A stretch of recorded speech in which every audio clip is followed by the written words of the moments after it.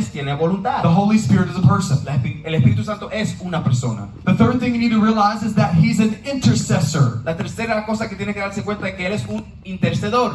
The Holy Spirit prays on our behalf. El Espíritu Santo ora de nuestra parte. So Jesus. Jesus is in heaven interceding for us, Jesús está en el cielo intercediendo por nosotros. and the Holy Spirit is in us Y el Espíritu interceding for us. está en nosotros intercediendo por nosotros. Look with me real quick at Romans chapter 8, Mire en Romanos capítulo 8. in verse 26 and 27. Romanos 8, 26 y 27.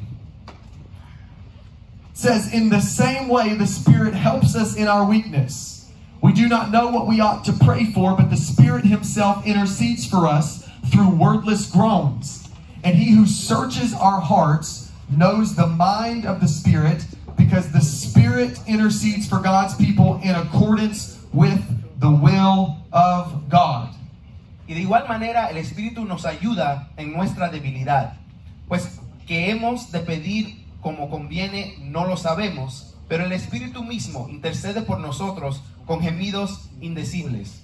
Mas Él escudriña los corazones, sabe cuál es la intención del Espíritu, porque conforme a la voluntad de Dios intercede por los santos.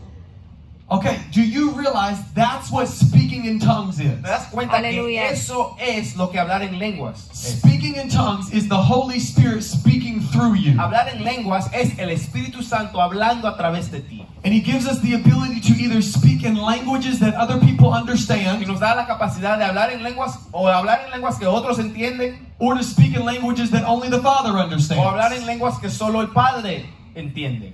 And so, speaking in tongues, the Bible says speaking in tongues edifies us, Entonces la Biblia dice que hablar en lenguas nos edifica, it builds us up.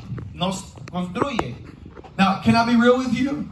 ¿Puedo ser realista contigo? I pray in tongues every day.